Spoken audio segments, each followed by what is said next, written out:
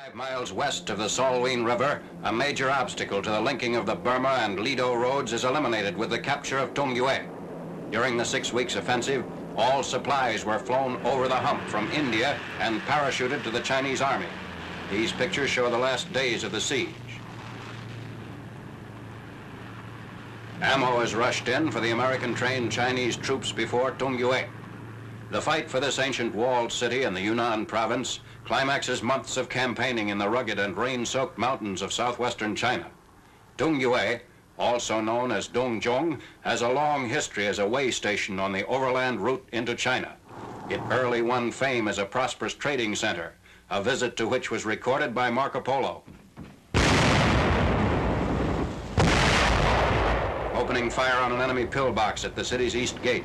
A camera equipped with telephoto lenses records the results. The Japs can be seen hurriedly deserting the position and running for cover.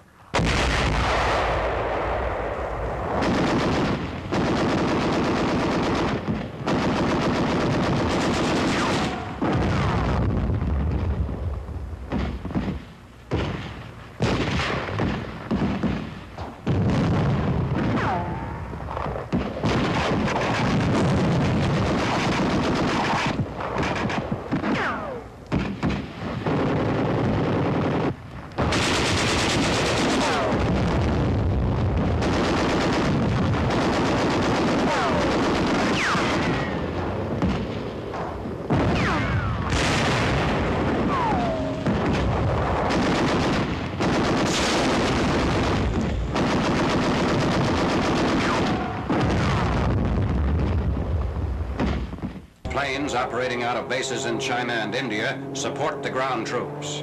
Dive bombers of the 10th and 14th American Air Forces attack heavily fortified enemy positions.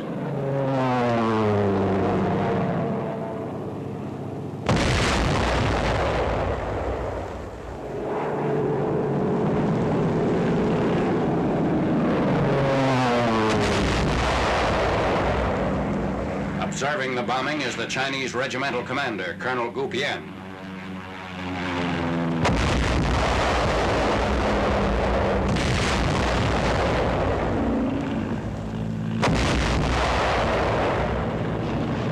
Chinese infantrymen storm the battered walls. They scale the 30-foot barriers to reinforce positions inside Tengyueh.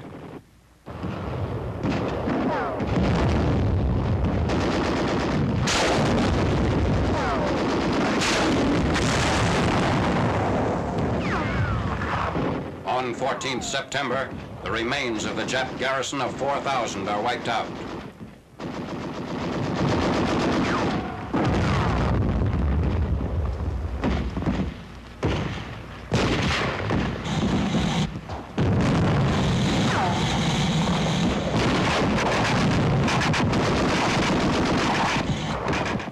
Removing wounded Chinese soldiers. There are no Japanese wounded. The fanatical defenders forced those Jap wounded who were able to walk to fight for the city. Seriously wounded Jap troops were reported to have committed mass suicide. Tengyueh, occupied by the enemy for two and a half years, has been reduced to a heap of rubble. Its fall enables the Chinese to regroup for a drive against last Jap strongholds, delaying completion of the land supply route from India across northern Burma into China.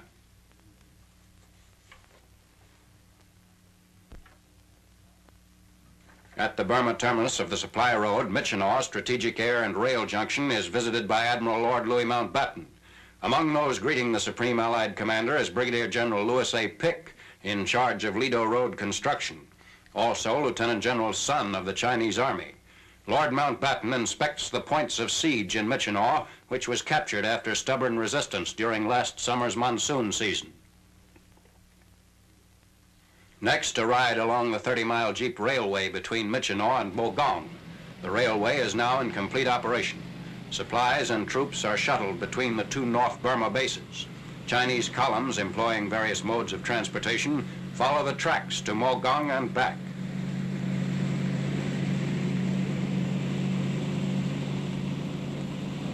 These Chinese troops have fought long campaigns in waist-deep mud and through hazardous jungle terrain to help bring the Allies to the China-Burma frontier.